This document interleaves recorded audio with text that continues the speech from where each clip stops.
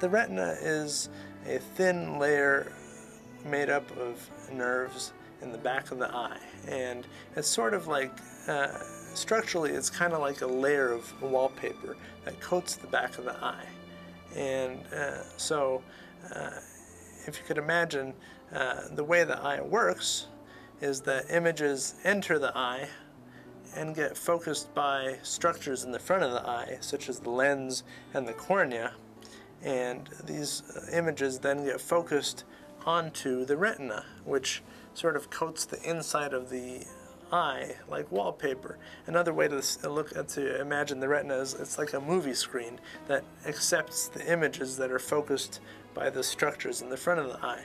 So the retina needs to be sort of flat and stuck to the back of the eye so that the images can be focused onto the retina. Now sometimes the retina can, uh, you know, the retina is very thin and very delicate. If the retina develops a tear, then fluid, which fills the eye, can enter the tear and get behind the retina, just like if fluid were to get behind wallpaper and then the retina can then separate from the eye wall, and then images projected onto the retina would be distorted and fuzzy.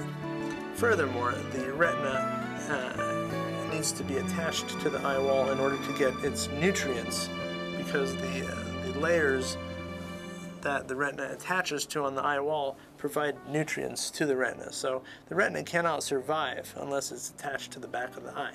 So retinal detachment, if left untreated, leads to automatic blindness.